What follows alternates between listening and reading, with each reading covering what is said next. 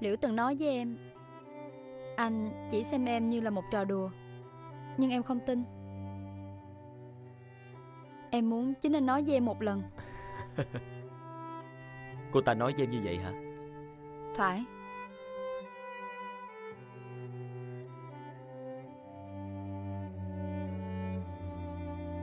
Nếu anh nói Chính vì Liễu mà anh làm như vậy với em Thì em nghĩ sao?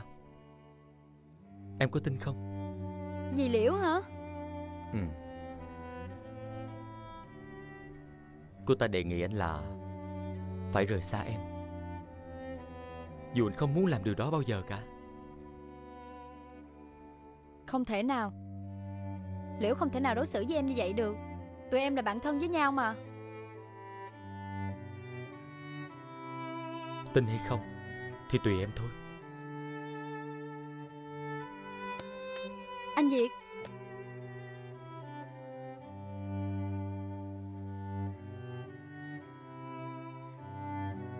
Em ngồi xuống đó.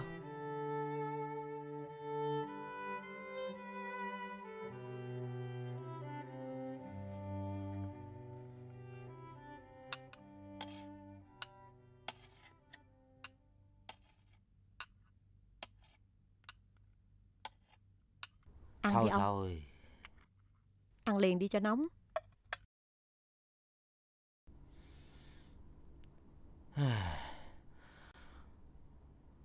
Bà tốt với tôi quá. Có gì đâu. Bây giờ ông thấy trong người sao rồi? Đuối lắm rồi. Không còn chút sức lực nào hết. Ngày hôm qua tới giờ Chưa có cái gì trong bụng Vậy chứ con Tuyền đâu Mà sao nó không lo cho ông vậy? Không biết nữa. Để ông đói vậy á. Thôi Thôi thôi thôi để tôi đút cho ông. Khổ ghê vậy đó. Nè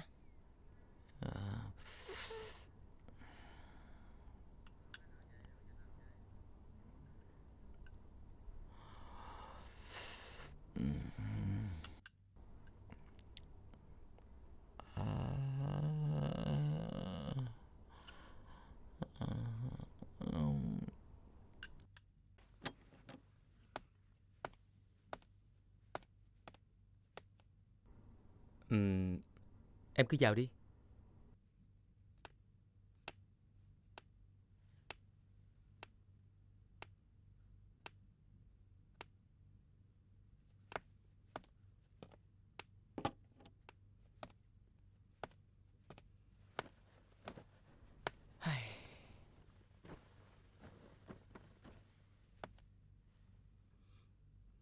Ừm, Em sao vậy Em Em ngại hả? Ok. Nếu em cảm thấy ngại, Thì chúng ta đi về vậy.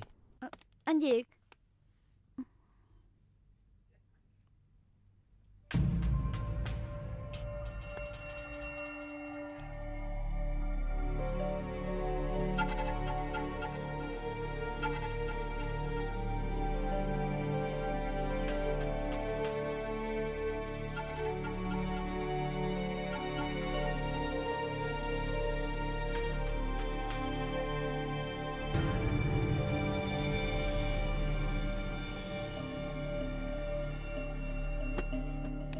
Giờ sao? Thì tụi mình tới đó đi rồi tính. Nè Liễu Bà cầm tài liệu này về học đi. Những bữa không có bà Tôi với thằng Minh thay phiên nhau chép bài giùm bà đó. Bà chỉ cần học ở trong này Cộng thêm một chút thông minh của bà. Kỳ thi này bảo đảm bà sẽ qua được liền. Ừ. Ừ. Ừ. Cảm ơn mọi người nha. ờ. Ơn nghĩa gì đâu. Chỉ cần bà đãi tụi này chầu kem. Bà biết không tôi chép bài hả? Muốn lòi cả con mắt ra luôn nè. Ê, Ui dạ Ông nghĩ sao mà đang với uống vậy? Liễu còn lo quản lý công ty Rồi còn phải theo kỳ nữa. Nghĩ sao rủ ông đi ăn kem? Ừ, Mới giúp người ta có chút xíu Mà đòi trả công rồi. Ông thiệt là quá đáng. Tôi tôi chỉ nói giỡn thôi. Ủa bà tưởng thiệt hả? Rồi sao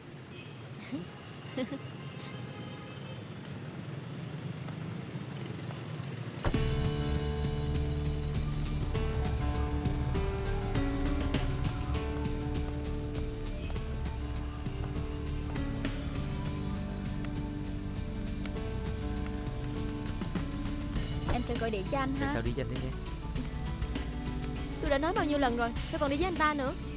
Tôi... Tụi tôi đang yêu nhau. Bộ em ghen hả? Anh biến khỏi mắt tôi đi Đồ bỉ ổi. Được thôi. Anh về trước đây Có gì gọi điện thoại cho anh nghe. Ừ. Ừ. Bye anh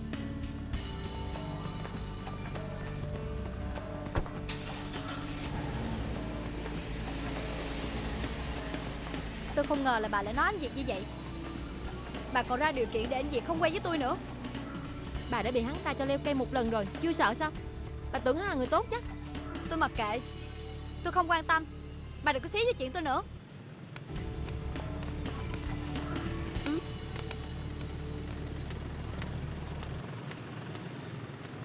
Bà đã bị hắn ta bỏ bùa rồi. Trời đúng là mê trai mà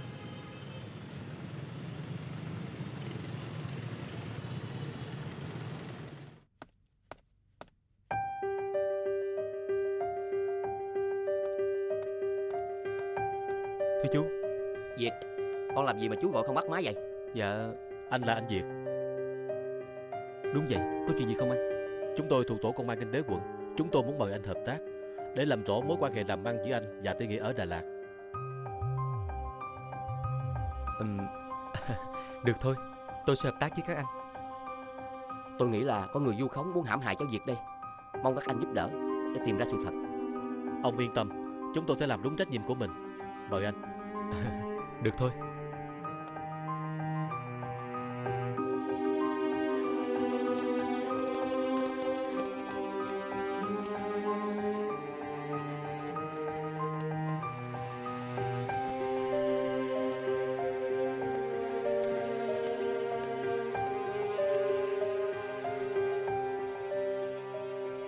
Chuyện gì xảy ra vậy ba? Tại sao công ty mình lại dính líu tới công an? Tại cái bài báo khốn kiếp của con Liễu.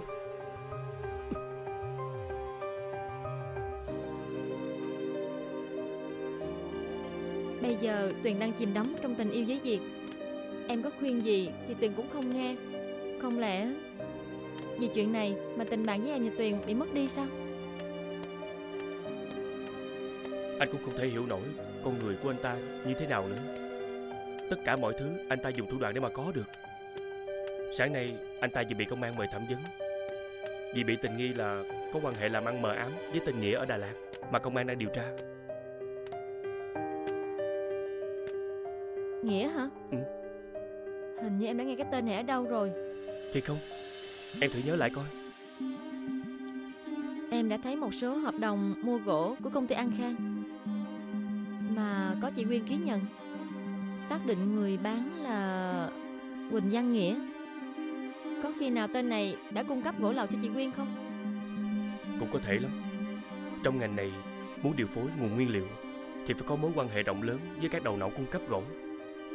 Tên Nghĩa cũng có thể là một trong số đó. Chắc là ở công ty còn lưu lại số điện thoại. Hay để em về tìm lại xem sao. Những kẻ làm ăn tinh vi như hắn Thường không để lại dấu vết. Chắc chắn hắn đã nhanh chóng thủ tiêu số điện thoại đó rồi. Chứ nếu không Công an tìm ra rồi Nói như anh vậy Nếu như tìm được tên Nghĩa Thì ba em có cơ hội được tha rồi. Ừ. Nhất định phải điều tra vụ này.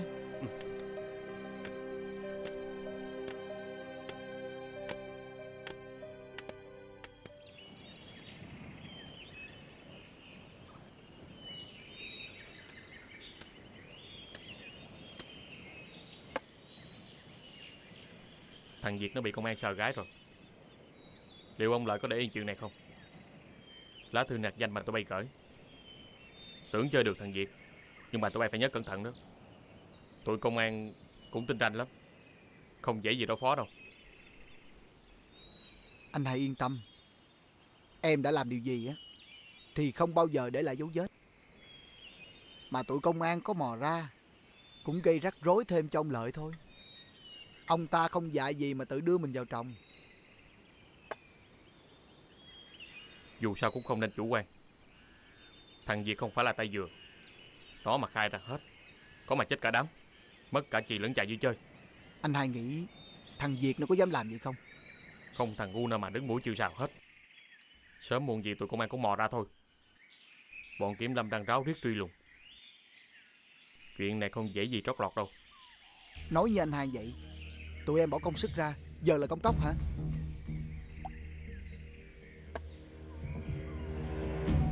Cũng tại cái thằng Kiểm Lâm khốn kiếp đó. Em đã nói với anh hai bao nhiêu lần rồi. Khử thằng đó trước Bây giờ đỡ hơn nhiều không?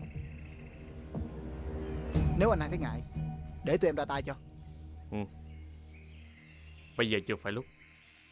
Nó cũng chưa làm gì được mình đâu. Điều tao lo Là số gỗ đang kẹt trong đó kìa. Anh hai còn có người đỡ đầu mà. Lo gì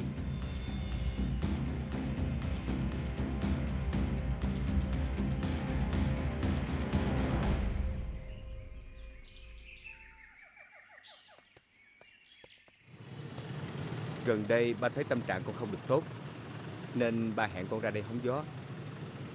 Cái gì cũng phải bình tĩnh Để giải quyết con à. Cứ nghĩ tới cảnh quyền bị bọn ngầu hành hạ Máu của con lại sôi lên. Thôi đừng nhắc cái chuyện đó nữa ba.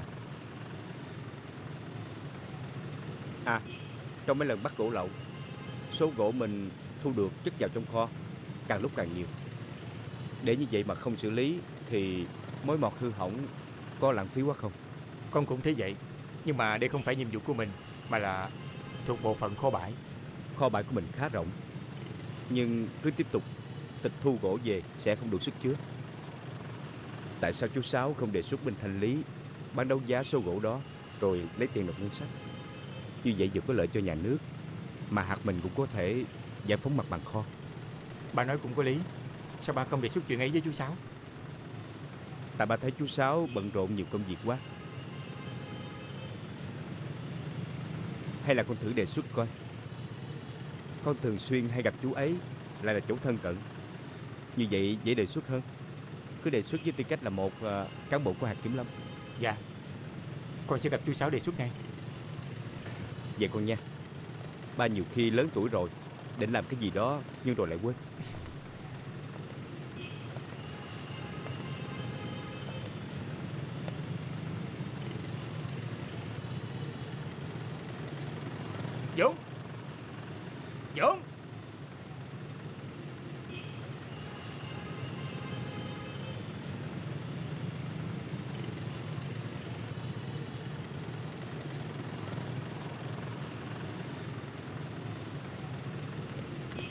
Đi đâu lang thang trên này vậy?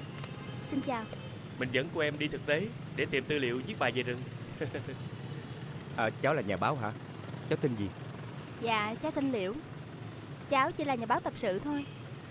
Dạ Tập sự nhưng mà viết khá lắm Vừa rồi viết một bài báo về rừng đã gây tiếng giang đó chú. Ờ, Có phải bài các doanh nghiệp ở thành phố Có tiếp tay với bọn lâm tặc không? Dạ cũng vì bài báo đó mà cháu khốn khổ đến bây giờ à. Lại còn bị hành hung nữa chứ. Đến như vậy nữa hả ừ. Ai hành hung em vậy? Thì chắc là tay chân của bọn lâm tặc mà. Đối tượng bị bài báo lên án nặng nhất. Tôi cũng đọc bài báo đó. Bài viết khá sâu sắc. À Đây là ba nuôi của mình Hạt phó hạt Kim Lâm. Mấy bạn cần tư liệu viết về rừng Thì gặp đúng người rồi đó. Dạ cháu tên là Dũng. Còn cháu làm nghề gì? À Dũng làm thiết kế trang trí nội thất cho công ty gia đình. Công ty dạng lợi đó ba Trẻ mà tài hoa lắm đó ba